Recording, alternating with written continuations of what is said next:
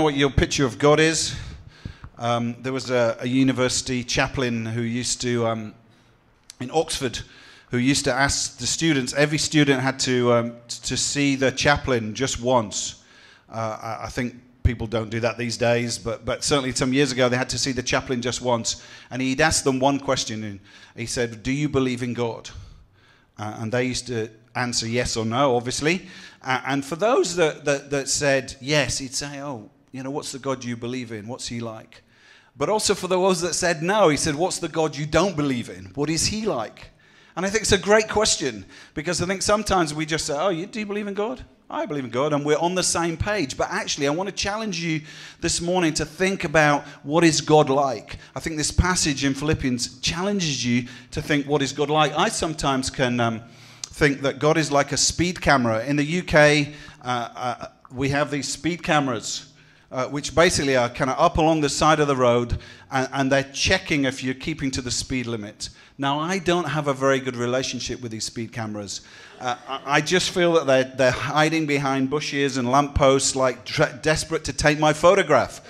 And so I've had my photograph taken by speed cameras far too many times. And the thing about a speed camera, you can never. I mean, you don't. You have okay, traffic cops by the side of the road here. You, you get what I'm saying? And nobody loves that moment, do you? Nobody thinks, oh, I love a speed camera. I love a speed camera. You know, it just keeps me honest and holy and doing the right thing. Nobody does that. But I think it's interesting when you think about God, you think, actually, can some people think God is like a speed camera? He's always watching you. You know, he's always waiting, and basically, if you do something wrong, flash, got your Sheshi sinning there again. And he's kind of always watching you, always wanting to, to pull you down. He's almost like this, this kind of secret police force in the sky that's checking you out and working you out. Uh, a guy um, called Richard Dawkins, American guy, uh, uh, wrote, this about his belief not in God. He said this I think it would be rather awful if the existence of God were true. You never have a waking or sleeping moment where you weren't being watched or controlled or supervised by some eh, celestial entity from the moment you were conceived to the moment you die. And then he adds, it'd be like living in North Korea.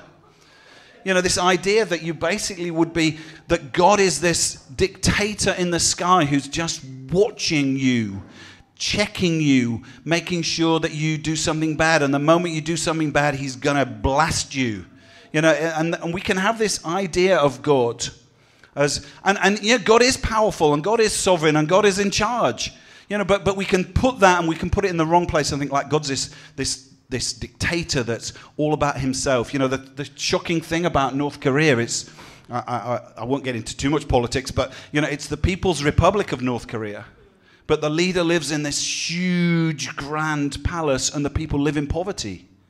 But yet he's the people's leader. And you think some people, some people think that about God. They think that God's just all about himself, living in the grand glory of heaven, not really concerned about us. And, and I think sometimes people that you that say, I don't believe in God, believe in the wrong kind of God. I think Richard Dawkins has got the wrong kind of God. I don't believe in that kind of God. You know, you can say, Oh, I don't believe in God, but actually because you don't, you believe in the wrong kind of God. You, have got the wrong view of God. And I want to try and reshape you. Maybe if God is more like this, this is something that I read in a, an American online uh, in, from the States. Maybe God's like this. This is a, a clip from a newspaper article. It said in, an 18 year old Kentucky woman was killed when she ran into the road to save her child.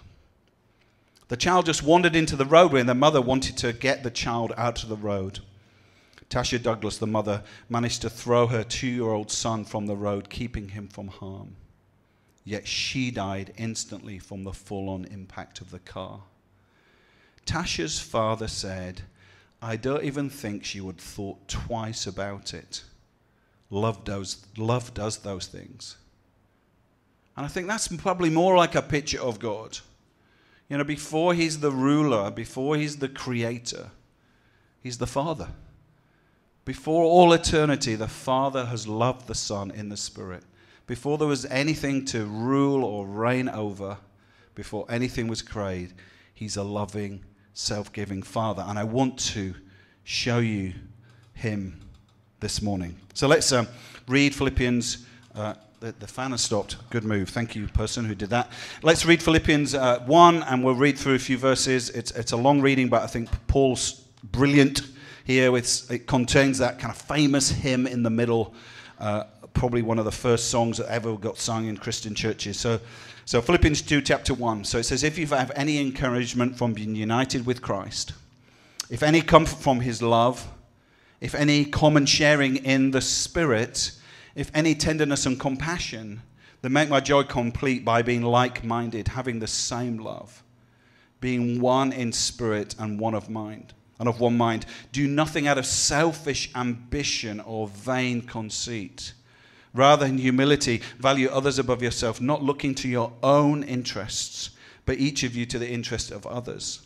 In your relationships with one another, have the same attitude or mindset as Christ Jesus who, though he was in very nature God, did not consider equality with God something to be grasped. Some translations say to be used for his own advantage.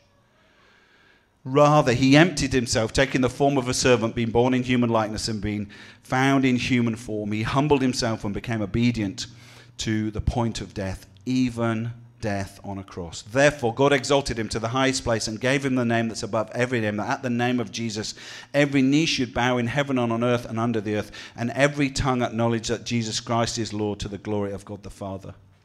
Therefore, my dear friends, if you, as always, obeyed, not only in my presence, but now more so in my absence, continue to work out your salvation with awe and trembling. For it is God who works in you to will and to act according to fulfill his good purpose. Do everything without grumbling or complaining or arguing, so that you may become pure, blameless children without fault in the warped and crooked generation. Then you will shine out amongst them like stars as you hold out the word of life. And then you will be able to boast on the day of Christ that I did not run or labor in vain. But even as I am being poured out, like a, a, a, drink offering on the sacrifice and service coming from your faith. I am glad and rejoice with all of you. So you too should be glad and rejoice with me. Familiar passage to some. Who's, who's heard that passage before? It's a familiar passage to some, so you know, I want to tread carefully. But I think that it really is a window almost into eternity. It's almost as if Paul or whoever wrote the words, Paul maybe took them from a song, and it's a window into the kind of eternity, into the heart of what God is like. And it starts off very simply. It starts, Jesus who being in very nature God. I mean, bang, that is a huge phrase, isn't it? Jesus in very nature God. You know, that, that is the, the challenge that the, the disciples of Jesus, they're following Jesus around, they, they, they're going on a journey and he's doing, doing miracles, he's teaching, and they're starting to realize, wow. You know, the Jews who'd said, Hear, O Israel, the Lord our God is one. These Jewish men and women are starting to go on this journey that Jesus is God.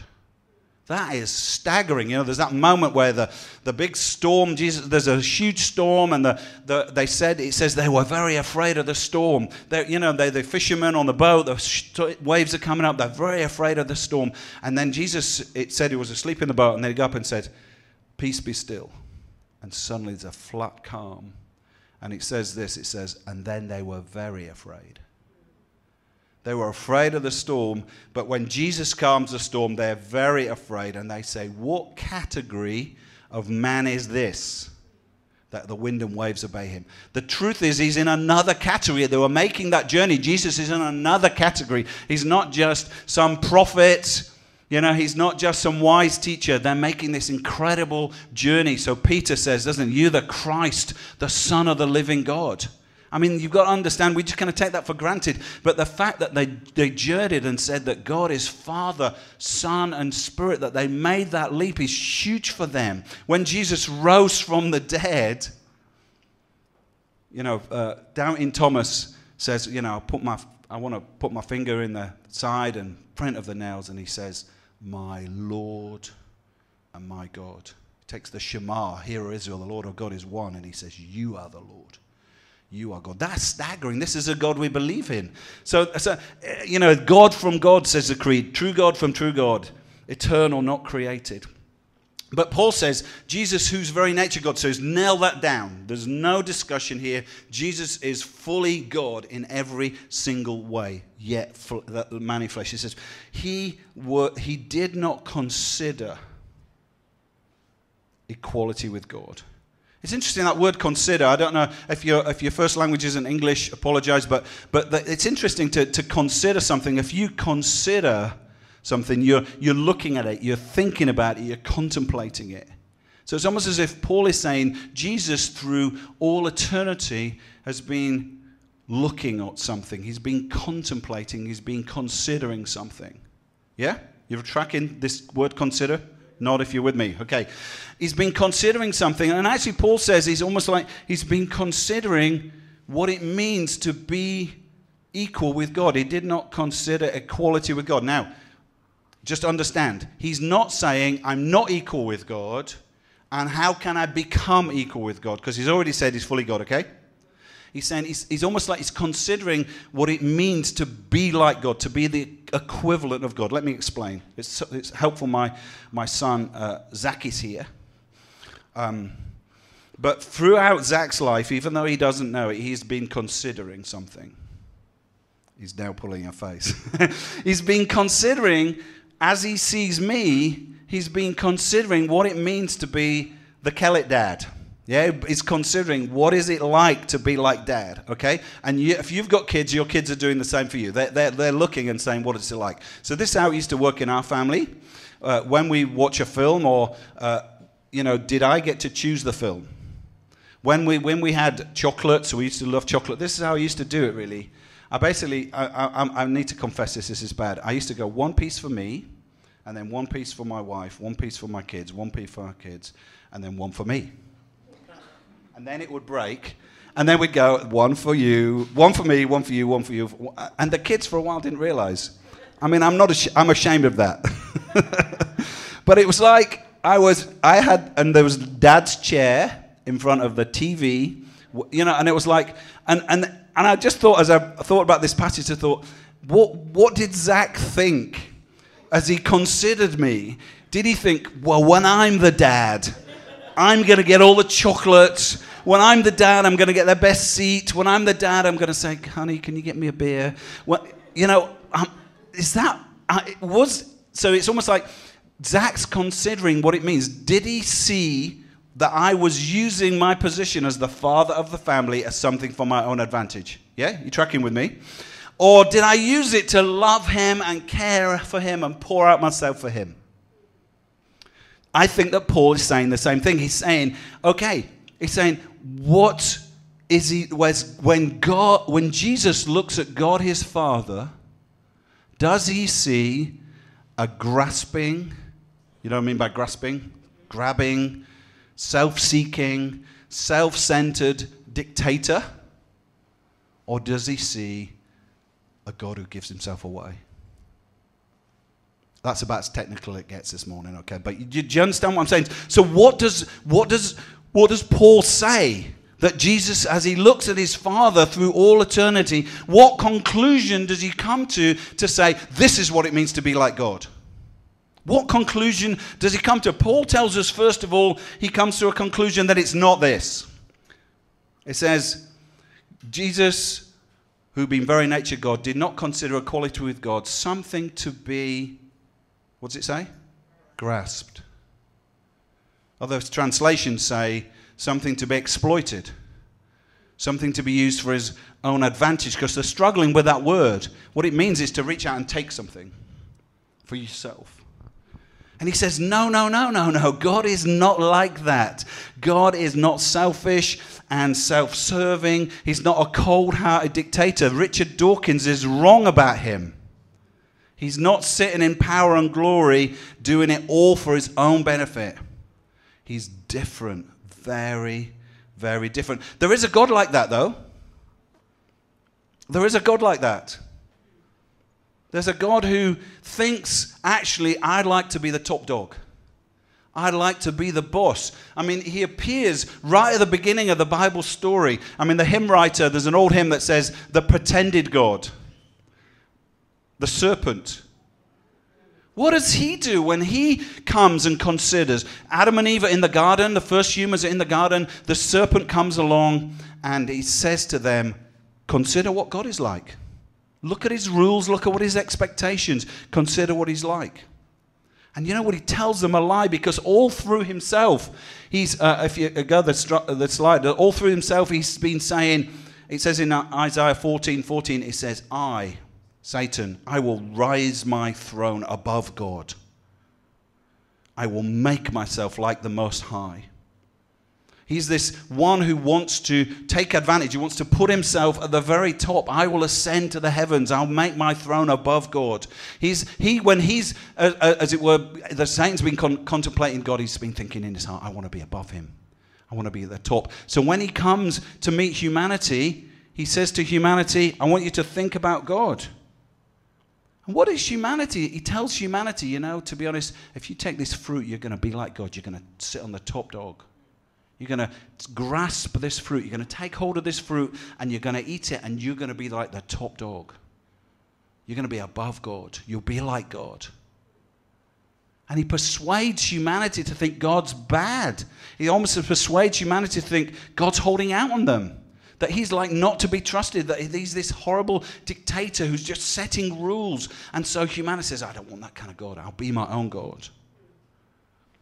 And, and, and, Jesus talks about, about the God of this age, doesn't he? He says, what does he say? He says he comes to rob. Take what's not his, rob, and to steal, and to destroy, and take life. He's, this, there is a God like that, but it's not our God. It's not our God. The thing is, when humanity believed the lie that God was bad and decided we're going to become these people that grasp and take and use for our own advantage, like Paul says in his passage, doing things out of vain conceit and selfish ambition. He's saying, that's what we become like. And that's what, that's what you're like, people. That's what your natural instinct as one who are born in Adam is that's what you're like. A guy called Bill Hybels uh, from the States said this. It may not be true for life in Tanzania for many people, but it's true for life uh, perhaps in the West, uh, it said, At birth, our tiny hands are closed. Mine we cry as we grasp rattles and toys and then bike handlebars. At school and university, it's exam results and then the hand of your girlfriend, and then you grasp the lowest rung of the career ladder and hang on and climb. You grasp at financial bonuses and bigger houses and better holidays. In retirement, you hold golf clubs and pension funds and then it's walking sticks. And at the end, we clutch to the edge of a hospital bed, hanging on to life itself. But only when we die do we finally relax our grip. Our hands are closed. Our hands are closed. You know, God says to David, Why are your hands closed? He says, I'm the God whose hands are open. Why are your hands closed? So that's not what God is like. He's not the closed handed, grasping God who wants it all for himself. No, when Jesus looks at what his Father's like, what it, what looks what God is like, he says, no, no, rather, this is something else. Jesus, it says, Paul says, Jesus made himself nothing. He emptied himself. He poured himself out, if you want to say that, by taking the very form of a slave being made in human likeness. We, that is so incredibly radical to say, what is God like? God is the God who gives himself away.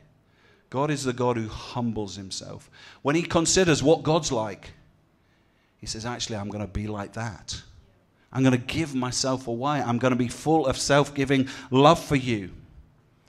Jesus is the poured out God. We see it at the Last Supper just the, the night before Jesus is crucified, and he's having supper with his friends, and he, he takes bread and wine, and he, he breaks, the, breaks the bread, and he says, This is my body given, given for you.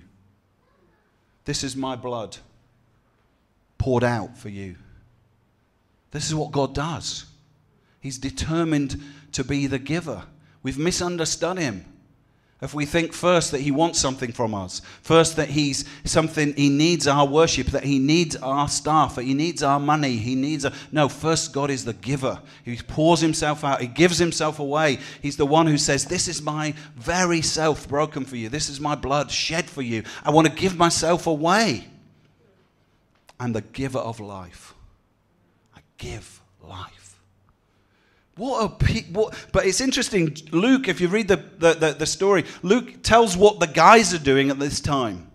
I, I, I, mine are worse at this than women. But this is amazing. Jesus is breaking bread, doing the Last Supper. And is, imagine, you know, we're breaking bread here, and Sheshi's doing the kind of Last Supper thing uh, and breaking bread. And, you, and at the back, there's a discussion going on. And this bit, this is what Luke says, the discussion. It says, Luke says, a dispute arose amongst the disciples of which of them was considered to be the greatest. What are we like? Jesus said to them, The kings of the Gentiles lord it over them, but you're not to be like that. The one who rules is like the one who serves. For who is greater, the one who is at table or the one who serves?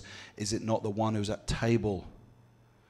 But I am amongst you as one who serves. It's staggering, isn't it? Here's Jesus' disciples. This is you and me. Here's Jesus' disciples. And what we're processing is what can we get out of this? What can we get out of this? We're with Jesus. He's the big hero, the dead raiser, the amazing guy. And they're processing what can I get out of this? What can I take for myself? What can I use for my own advantage? What can I take and grasp and make myself? And they're arguing, saying, I'm going to be better than you, Shesh. Sheshi said, No, no, no, I'm better than you. No, Sheshi wouldn't, would he? My Zach, my son, no, he wouldn't. But you know what I mean? The what's it like? So Jeremy and Jeremy and Sheshi arguing, who's the greatest? I'm the greatest. You know, and it's like Jesus is saying, I'm going to give myself away, and they saying, I want to take, I want to take. And we're like that. I mean, men are worse than women. Is that is that fair? Women are more relational. I mean, okay, maybe it's not good to caricature, but men are obsessed with power. You know, you are in your workplace. You know, am I climbing the ladder? Am I better than that guy? He did his presentation. I did my presentation. Am I better than him? We're desperately, constantly thinking about power, and, and we want, because we want for ourselves, we want to be affirmed for ourselves. We want people to think I'm great. We want people to say, Yes, you're amazing. And the Jesus' disciples are having this discussion, it's like, Whoa. But actually, they've been modeled that because that was like, it says, the kings of the Gentiles were like that. They lord it over them. If you look, think of the Roman world in that time, the Julius uh, uh, uh, Caesar, Tiberius Caesar, the son of Augustus, he was the one, he was the ruler, and he modeled what it was like to be a ruler. If you get to the top, this is what you do. Tiberius was so, his, his, his father Augustus was so desperate to climb to the top, he said, Please call me the divine Tiberius. So here's, uh, here's uh, divine Augustus. Here's his son Tiberius. He's been modeled. He's looking at his father Augustus and says, This is what we do. So, what does he do? He goes across the whole of the, the Mediterranean basin, grasping, exploiting, taking, enslaving, demanding homage. If you've ever been to Rome, because I live closer to Rome than you guys, if you go to Rome, there's this like massive palaces on, this, on the Palatine Hill. It was almost like all the resources of the, of the Roman Empire were poured into this man's lap. And that was what had been modeled. It's what empires do. You know that in this nation. They grasp and they take and they seek for themselves. But that's what they'd seen. And the question is obvious who is greatest? Who's the one who sits at the, the, the one who sits at the table or the one who serves? I don't know uh, if you ever had, if, if, if you're married, you know, your wedding reception. Imagine the wedding reception. You know, you're sitting there married. Uh, uh, Jeremy and Ange are sitting there in their wedding reception, and then everyone else kind of seated at the table, and then Jeremy just, instead of everybody thinking, hey, it's Jeremy and Angie's big day, and, you know, and you get everybody chatting to you, they suddenly get up and say, I'm going to go and serve everyone. That's what Jesus is saying. He says, Look, you might, you might think the place to be is to sit at the table and have everybody serve you. But I'm telling you what God is like. I'm the one amongst you who serves. I'm amongst you as one who serves. Jesus, John records it, doesn't it? He says, so we're still in the Last Supper scene. It says, Jesus knew that the Father had put all things under his power. I mean, what would you do if you had all things under your power? Just ask yourself that question. All the power in the world is given to you. What, what were you going to do with it? I don't think I would do this. But God does this. Jesus knew that all that, that he'd come from the Father and got the Father put all things under power. That he'd come from God and is returning to God. He's fully aware that he's God. So he got up from the meal, took off his outer clothing, wrapped a towel around his waist, and after that poured water into a basin and began to wash his disciples' feet, drying them with a towel that was wrapped around him. Now, I don't think that this was just a fake moment. Jesus isn't thinking, hey, this is going to look good in the Bible, isn't it? It's going to look good in the Bible if I come across as humble. You know, why don't we just wash the feet? Most of the time, I'm sitting in heaven, I'm sitting in my kind of house, I'm sitting and everybody's going to kind of give me homage and give me worship. But actually, this might be a good little illustration, so I'm just going to do this. I don't think he's doing that because he's doing that to like make a good show. This is not a PR stunt. This is not the president leaving church during election campaign. You know, this is not something that's going to look good in the papers. This is what he's like. He does what he does because that's who he is.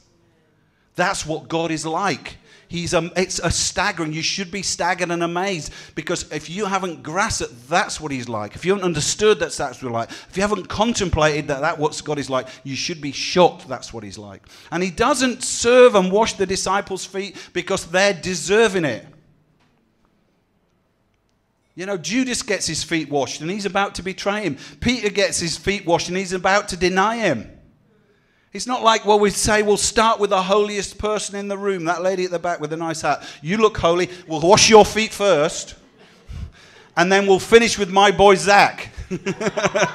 He's not doing that. He's not doing that. He's saying, I want to give myself away. I want to make you clean. I'm going to wash you. I'm going to take the form of a servant. He does that because God is self giving. He's not grasping but overflowing. He's not exploiting but serving. He's not taking but poured out. This is amazing. There's no God like this. Other gods are worshipped in this nation. Other gods are worshipped in my nation. There's no God like this. There's no God like this. But actually, Jesus is going to go further to show what it means to be like God. Paul continues, being made in human likeness, he humbled himself and became obedient to death, even death on a cross. Thank you. I mean, this why does God do this? He does that because that is what he's like.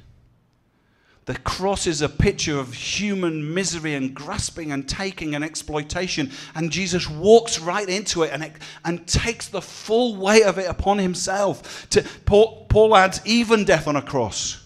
Like the lowest, the most foul, the most degrading, the most disgusting way to die. Why does God do that? Because that's what our grasping and exploitation and sin takes the world. And Jesus walks right into it and says, I'm going to change it. I'm going to transform it. Jesus is, uh, he says this, didn't he? He says, The Son of Man did not come to be served, but to serve. And to give his life for many. Greater love, says Jesus, says no man than he gives his life for his friends. So somebody might do it for a hero, somebody might do it for somebody amazing, they might give their life for a great cause. But he gives our, his life for us while we were grasping, exploiting, self centered, proud sinners. There's no God like this. He's betrayed and arrested, whipped, spat upon, and led away and killed, naked on the cross. The Son of Man marred beyond recognition slowly dying in the darkness, forgives his executioners, holds out, holds out life to a thief, pours out kindness to his mother. There's no sense of grasping self, even in that moment, no sense of self indulgence in that moment. This is a God who's poured out. Mark, at the moment of his death, in the Mark's Gospel 15, records with a loud cry, Jesus breathed his last. And when the centurion who stood there in front of Jesus saw how he died, he said this Surely this is what it means to be God. Surely this man is the Son of God. You got to understand that, as I said, that each Roman legionary would have had coins in their pockets, and the coins in their pockets would have said Tiberius Caesar, son of the divine Augustus. In other words, every coin, every time you spent money, every time you used anything in the, the empire, there was this little picture that's saying, This is what it means to be divine. And the Roman soldiers would swear allegiance to the divine Tiberius. But this soldier, seeing how Jesus pours himself out, how he gives himself away, says, Not this. This is what it means to be God. This is what it means to be God. Truly, this man is the Son of God. A theologian said this. It said, uh, Darrell Johnson, uh, I love this quote, says, uh, Calvary reveals what it means to be God. I don't think this is just some rescue mission that God's doing and then he's back on his throne in glory. Even if you look in Revelation, he's always the lamb on the throne. He's always the poured out, crucified one on the throne. Calvary reveals what it means to be God self emptying, sacrificial love is the proper expression of divine status.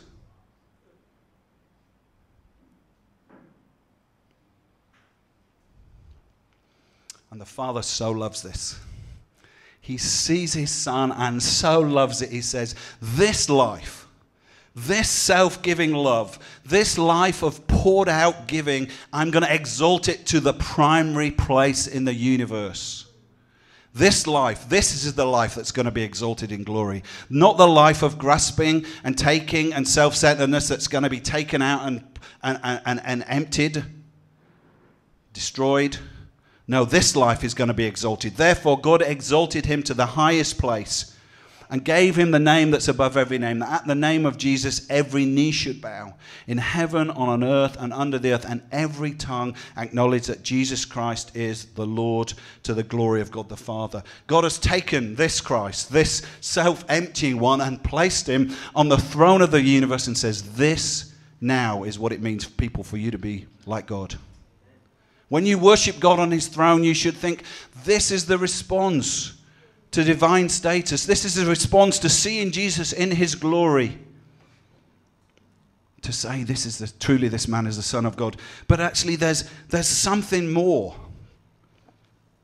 Paul doesn't just leave the passage there. We could leave it passage there and think that's an interesting little bit of theological exercise. You know, made me think a little bit about God. That, that's helpful. I like that. Paul then says, okay, so what about you? The poured out God is looking for a poured out people. The self giving God is looking for a self giving people.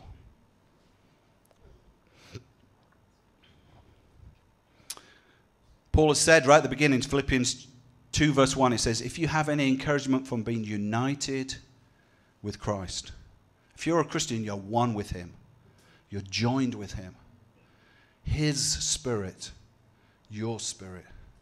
His character becoming your character. Paul says, we share, sounds, uh, sorry, Peter says, it's almost shocking, we partake or we share of the divine nature. So we are little Christs. That's what Christians mean. That's what they call them, isn't it? Little Christs. So what do little Christs who follow the poured out God, how do they live? Let's land with these four little, four little helps. So we're back in Philippians 2. It says, continue to work out your salvation with fear and trembling, for it's God who works in you to will and to act to fulfill his good purpose. I, I could have, I, if my hands weren't full and we had water here, imagine if I had a, a, a bowl of, I had a cup and below it had a bowl. This is what it means to work out your salvation. It doesn't mean try harder to please to please God. That doesn't mean when he says work out your salvation, it doesn't mean try harder, try harder, and then God will love you. What it means is, is God is at work in you, almost like water poured into a cup and poured into you and poured into you. It says God is at work in you, so you overflow. So you overflow. Sometimes I think, man, I need to try harder to be good and humble. But actually, the way it works is that God has poured this life of Christ into me. It's like He pours it into me. So Paul says in Romans 6, doesn't he? he says, God has poured out His love in our lives by the Holy Spirit He's given us. As a Holy Spirit people, we say, God, pour your life in me. And you pour your life in me. And what happens is that we work then. We do God's work. It's natural for us to pour out. If you're poured into, you cannot not pour out. That's what it is. It's natural for you as you go into your world and whatever part of the, you know, however you live in this society, you go into your world, it's natural for you to pour out. It's natural for you to work out your salvation. It's not, it's not natural anymore for you to be grasping and self centered and self focused and climbing the ladder and saying who's better. That is no longer natural for you. What is natural for you is that you work out what God is working in you, you're working out there. Then he says, let's carry on. He says, uh, become pure and blameless. How? Jesus has done that in us to make us pure and blameless. Children of God without fault in a warped, crooked, grasping, self centered generation. Then you will shine out. So we have work out, shine out among them like stars. You know, there's something amazing if you're a follower of Jesus. You shine. You shine people should say to you, you know, there's something about you. They should. Thank you for nodding. Yes, they should. They should say there's something about you. My wife's a school teacher. She's a lovely lady, works in a, a, school for, for children with learning difficulties and special needs. It's a constant pour out. These kids swear at her, they spit, they're really damaged physically and emotionally.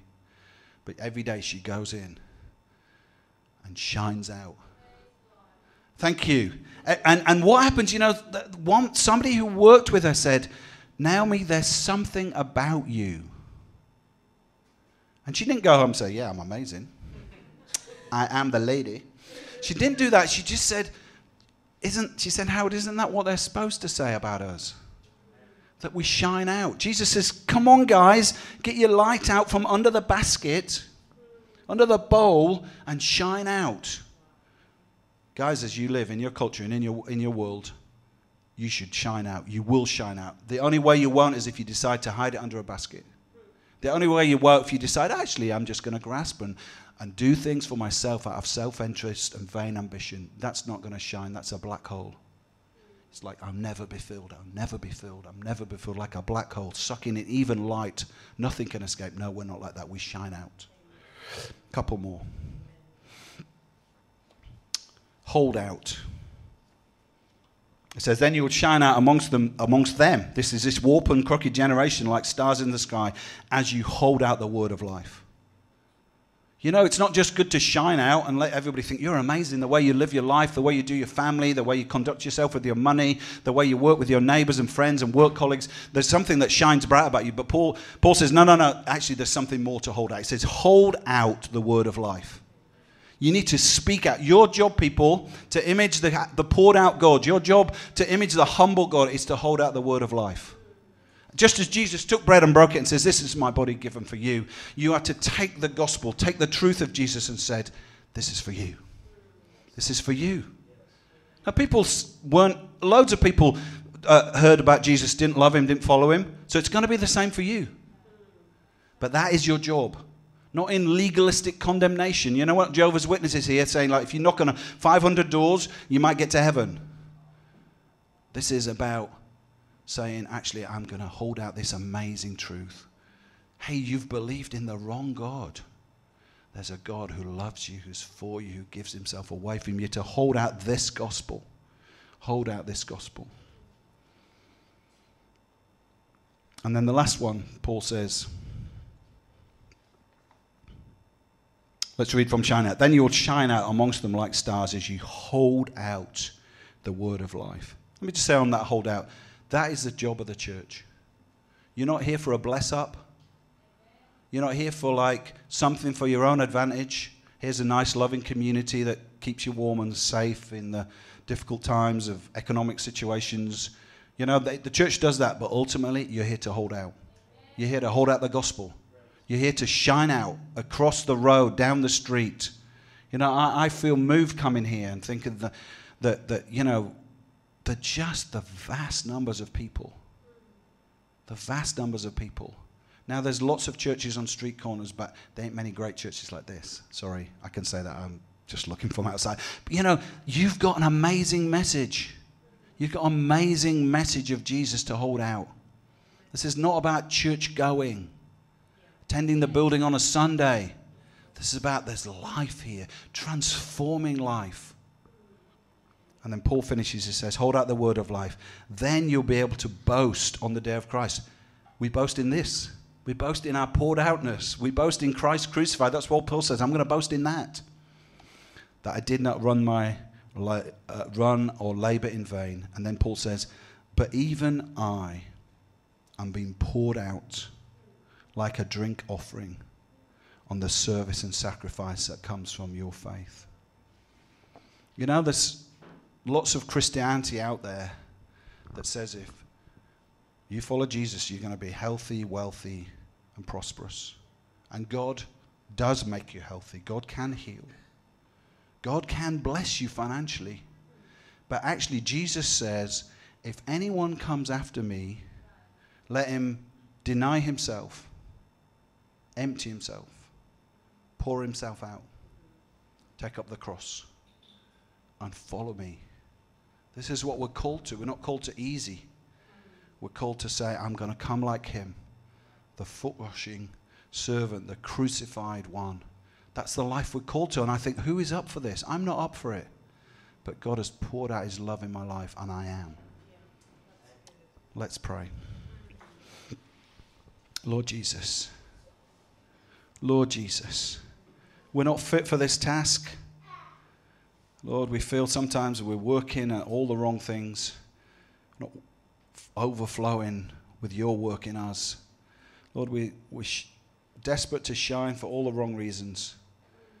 We're holding out all the wrong things to make ourselves look good, and we're pouring ourselves into all the wrong places. But Lord, we just pray, let your gospel come, that we would consider Jesus consider Jesus, that we'd look at the crucified one. We'd look at the servant hearted one. We'd look at the poured out one. And Lord, you would transform us. Lord, I pray for God's tribe. I pray for a, a, bright, shining community that shines out beyond these school grounds, that shines out into every place that these people touch. Lord, I pray for a community of confidence and boldness and faith that says, I'm going to hold out the gospel of Jesus because there's no one like this. I pray, Lord Jesus, that we would pour ourselves out, not just on Sunday serving rotas, but pour ourselves out for the gospel. Lord, I pray for myself. Deliver me from easy comfort. I pray, Lord, that I would be a cross taker up and follow you, that I'd lay my life down daily. And I pray for these guys that they would take up their cross and say, I'm pour out my life for a great cause, for Jesus and his gospel. Amen.